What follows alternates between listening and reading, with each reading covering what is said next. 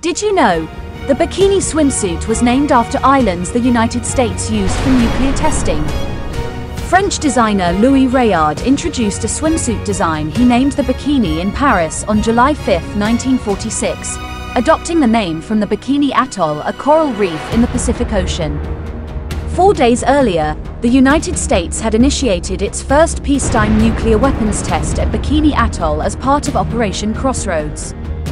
Réard hoped his swimsuit's revealing style would create an explosive commercial and cultural reaction similar to the nuclear explosion at Bikini Islands.